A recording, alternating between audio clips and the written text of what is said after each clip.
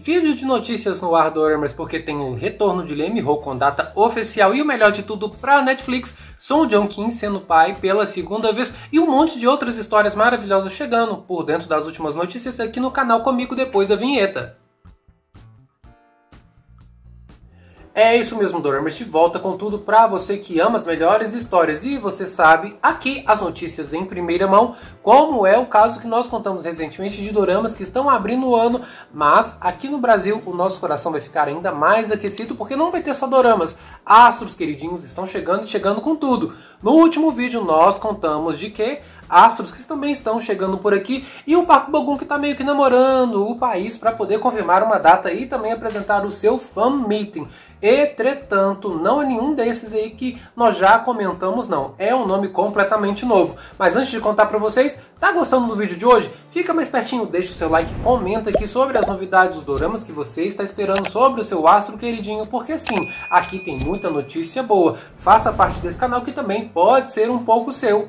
Hoje nós estamos falando do Astro, que já tem não uma, mas sim duas datas confirmadas aqui para o Brasil com seu fan o Sol da Meia-Noite. É, um nome bem proposital, porque se na Coreia está de noite, aqui está de dia e tenho certeza que vai trazer muita luz para quem tem dinheiro, porque sim, eu já falei para vocês, preparem o bolso, coloquem a mão aí na carteira, porque um monte de astros vem e quem vem é o Lee Jun-ho. Lembra quando ele foi Pong lá em Walk of Love e também foi um seu poderosíssimo na história de Sorriso Real?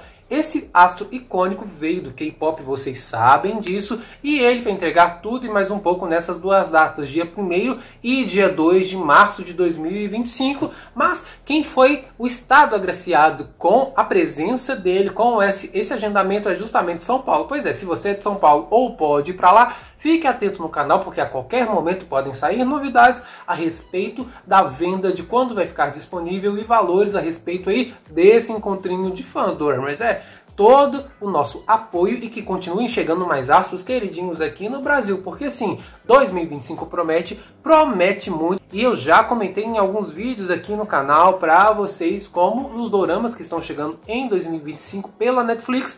E sim, ela conseguiu antecipar e a gente comentou no último vídeo de notícias sobre Lemmy Ho que estava cotado para chegar sim na primeira semana de janeiro em 2025. A surpresa é que When Gossip Star ou Ask the Star ou Quando as Estrelas Fofocam, Perguntinhas Estrelas, é um dorama onde ele é o protagonista, onde ele vive um médico ginecologista que vai simplesmente partir para o espaço através de uma missão especial. É uma comédia romântica, sim, uma das mais caras de todos os tempos, mais de 4 anos de produção e finalmente vai ser no dia 4 de janeiro. Vocês sabem que ainda não tem confirmação sobre a transmissão simultânea, pelo menos a Netflix ainda não confirmou, mas já postou no próprio canal do YouTube que essa data é real e vai vir todo final de semana. Sábado e domingo, capítulos desse dorama, que com certeza vai chegar aqui no Brasil dublado. Então se você estava com saudades do Lemmy Ho esperando esse dorama, fique à vontade para poder curtir. Obviamente vai ter vídeo aqui no comentário Obviamente vai ter vídeo aqui no canal comentando todos os episódios, fiquem ligadinhos então. A ideia é que chegue também para o Brasil de forma simultânea e nós vamos comentar para vocês, porque a dona Netflix está preparando muitas e muitas histórias doramas, inclusive segundas temporadas e tudo mais que a gente também comentou aqui no canal. Vamos chegar um pouquinho aqui para a nossa realidade, o mês de dezembro que está ainda mais próximo do que janeiro, e comentar que a dona Netflix atualizou os doramas que estão vindo aí. Lembra que eu comentei para vocês do dorama da Nanao, um dorama japonês onde ela vive uma secretária, na verdade, uma funcionária de escritório? Pois é, este ícone está de volta e para o Brasil a data oficial de estreia desse dorama é 14 de dezembro. Já começou a ser exibido lá no Japão, então provavelmente ele vai vir dividido em duas ou no máximo três partes, por enquanto contando apenas com legenda. Uma mulher que sabe se portar muito bem, conversa como ninguém, convence as pessoas, mas uma negação para tratar de informática. Mas no mesmo dia que ela passa na entrevista de emprego para ser representante de uma grande firma no Japão, um outro nerd que é muito perspicaz com números em informática também passa nesse processo seletivo. Obviamente os dois vão se juntar para poder um cobrir o outro ali. Quem não consegue falar em público, para aquele que não consegue mexer com o seu trabalho ali de forma física. E se a gente está falando de novidades, um pouquinho antes, saindo do dia 14 para o dia 12, a Netflix também confirma Dorama chegando para gente. Esse é aquele dorama que já é o segundo ano consecutivo que a Netflix promete, só que dessa vez está oficial na plataforma. Happiness com a Han Yoo-joo maravilhosa conta pra gente a história de um mundo vivendo uma pandemia perigosíssima onde as pessoas infectadas acabam se transformando em espécie de mortos-vivos, tipo zumbis, e vão meio que canibalizando os outros. É, dentro de um prédio eles vão ser os responsáveis por salvar as suas próprias vidas para não contaminar o restante da Coreia. Dorama de ação todo trabalhado pra gente que ama esse tipo de história com um pezinho lá no Apocalipse do Doramers. É, finalmente vai chegar, porém, confirmado apenas legendas.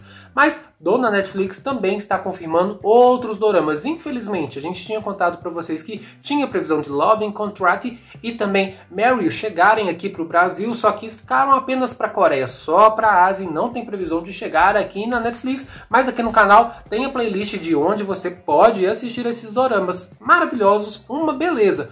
Entretanto, Dona Netflix não para e já confirmou que tem mais produções chegando aí em 2025 como a terceira temporada de O Desafio do 100.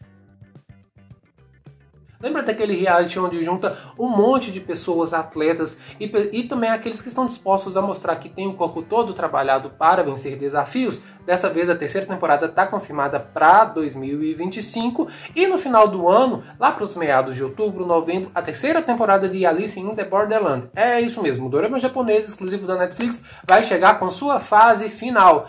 Porém, tem muito mais novidades, além desses doramas que estão chegando, tem Astro queridinho aqui no Brasil e tem uma novidade fofa que eu não posso ficar sem compartilhar com vocês. Lembre que há cerca de um ano, Song Joong Kim foi pai pela primeira vez, é isso mesmo, o seu filho nasceu na Itália, é doramas, é um coreano com uma estrangeira tendo filho na Europa, olha que loucura, só que dessa vez ele confirmou ser pai pela segunda vez, foi no dia 20 de novembro que veio ao mundo a sua filha.